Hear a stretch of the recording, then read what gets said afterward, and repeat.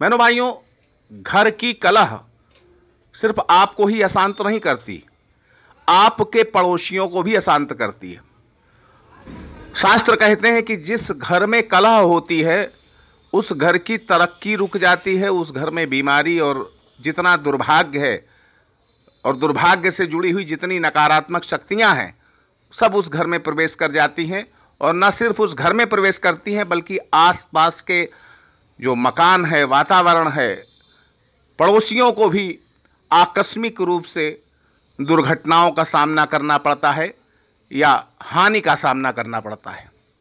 बहनों, भाइयों, घर की शांति के लिए प्रत्येक घर के मुखिया को ये ज़रूरी है कि पूर्णमासी के दिन हो सके तो ये प्रयोग कर ले।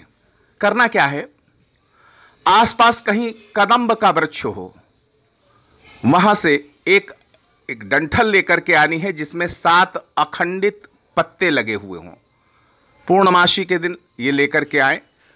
घर में ला करके उसको गंगा जल से धुल करके, रोली चंदन करके, धूप बत्ती दिखाते हुए उसको अपने पूजा स्थल में रख लें। पूजा स्थल में उसको ससम्मान रख दें। हो सके तो कोई आसन बिछा करके पीले रंग के कपड़े का। इस डंठल को रख लीजिए और हर पूर्णमासी को, ये पुराना वाला जो पत्ते सहित डंठल है, इसको किसी पेड़ की जड़ पर या बहते जल में प्रवाहित कर दें और इसकी जगह फिर एक नया पत्तेदार डंठल लेकर के रखें। कदम कदम्ब का ये पत्ते समेत जो डंठल है, ये घर में शांति बहाल करता है। छोटी छोटी बातों पे गुस्सा होकर के लड़ना, झगड़ना ये बिल्कुल ठीक हो जाता है और इस प्रयोग को आप करके देखें। ईश्वर आपकी